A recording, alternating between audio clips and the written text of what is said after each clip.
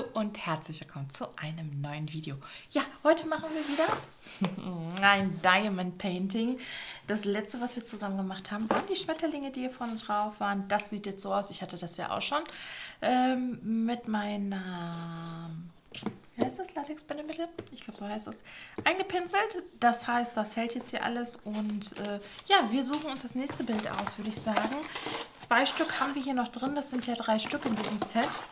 Und ich glaube, ich entscheide mich hierfür oder möchte ich die Blumen. Erstmal brauchen wir alles andere auch. Da ist ja auch der Stift mit drin und alles. Ich verlinke euch das, dann könnt ihr euch das auch in Ruhe dort anschauen. Ähm, aber ich glaube, ich möchte den Piepmatz, oder? Komm, wir machen den Piepmatz, das machen wir. Äh, Steinchen habe ich, Schiffchen äh, habe ich schon zu meinen anderen Schiffchen gepackt. Das hole ich mir jetzt. Und ich würde sagen, ja, den mache ich jetzt. Das lasse ich euch natürlich im Schnelldurchlauf laufen, aber ihr seht natürlich am Ende auch das Endergebnis.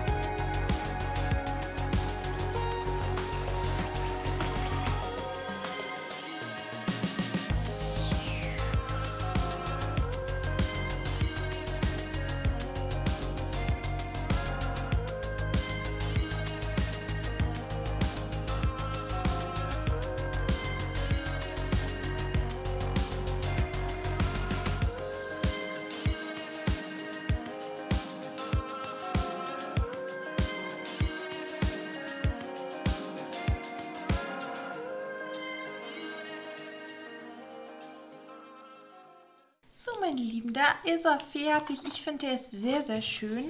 Äh, ja, jetzt wird das Ganze natürlich wieder versiegelt sozusagen und auch, dass es halt äh, hält. Dafür nehme ich ja das Latex-Bindemittel. Wie gesagt, ich verlinke euch unten immer alles. Ähm, bekommt man aber auch im Baumarkt. Das jetzt habe ich bei Ubi gekauft, glaube ich. Ich glaube, ich habe das bei Ubi gekauft. Aber bei Amazon gibt es das mittlerweile auch. Ähm, ja, ich schüttel das einmal. So, geschüttelt ist das Ganze. Und dann einmal öffnen. Ähm, damit habe ich bisher alle meine Bilder äh, gemacht. Und das ist auch sehr, sehr ergiebig und das ist auch nicht, ich weiß gar nicht, 10 Euro kostet das, glaube ich. Also das ist halt sehr ergiebig, ne? das darf man nicht vergessen. So, wenn das da in die Rille reingeht, das ist nicht so schön. So, ähm, ja, so viel brauchen wir für das kleine Bild gar nicht. Jetzt ist das da alles in der Rille. Mache ich gleich mal sauber. Äh, ja, ich habe jetzt hier heute einfach nur einmal Papier drunter gemacht. Ich verteile das jetzt hier einmal. Äh, das sieht man natürlich, dass das jetzt so ein bisschen milchig ist.